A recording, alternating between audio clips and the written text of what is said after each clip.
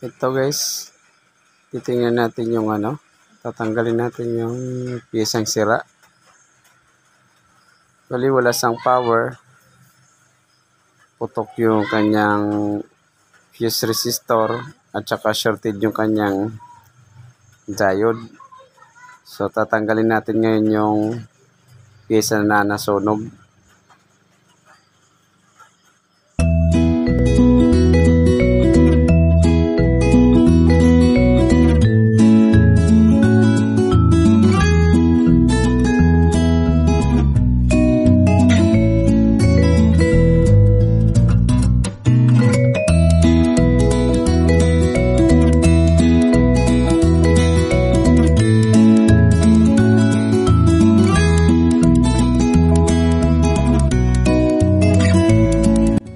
Guys, chinik natin yung mga piyesang posibleng pumutok at shorted.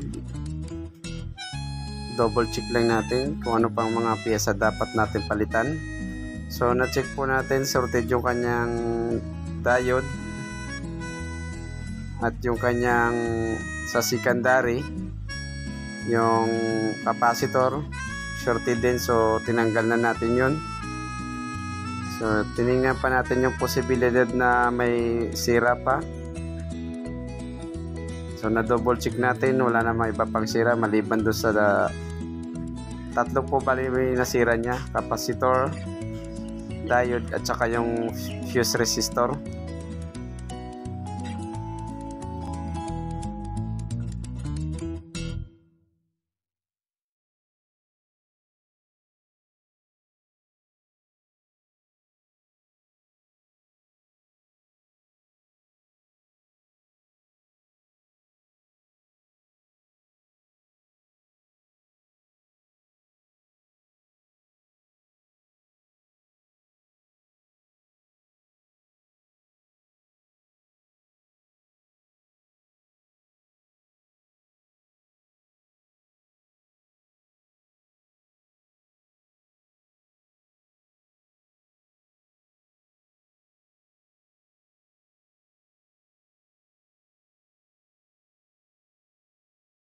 Yan.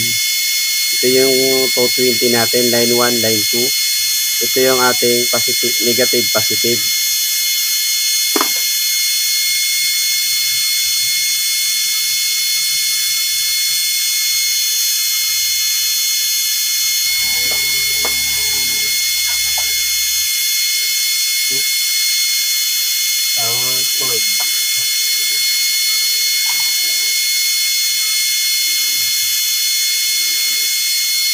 Yan, mag-power siya guys. Yan. Lock mo natin.